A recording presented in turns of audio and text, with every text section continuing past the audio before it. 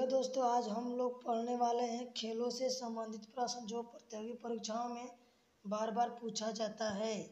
चलिए पहला क्वेश्चन को देखते हैं। पहला क्वेश्चन है, पोलो में खिलाड़ियों की संख्या कितनी होती है?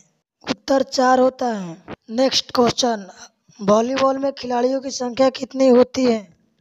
उत्तर छ होती है। नेक्स्ट क्वेश्चन फुटबॉल में खिलाड़ियों की संख्या कितनी होती है? उत्तर ग्यारह होता है।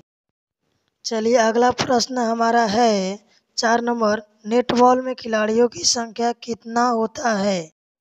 उत्तर, सात होता है। नेक्स्ट क्वेश्चन कबड्डी में खिलाड़ियों की संख्या कितनी होती है? उत्तर, सात होती है। चलिए, अगला प्रश्न है जिम्नास्टिक में खिलाड़ियों की संख्या कितनी होती है? उत्तर, आठ होता है। अगला प्रश्न है खो खो में खिलाड़ियों की संख्या कितनी होती है? उत्तर नाइन होता है। चलिए, अगला प्रश्न हमारा है, बेसबॉल में खिलाड़ियों की संख्या कितनी होती? उत्तर नौ होता है। चलिए, नौ नंबर क्वेश्चन हमारा है, बास्केटबॉल में खिलाड़ियों की संख्या कितनी होती है? उत्तर पाँच होता है। चलिए, अंतिम क्वेश्चन हमारा है क्रिकेट में खिलाड़ियों की संख्या कितनी होती है?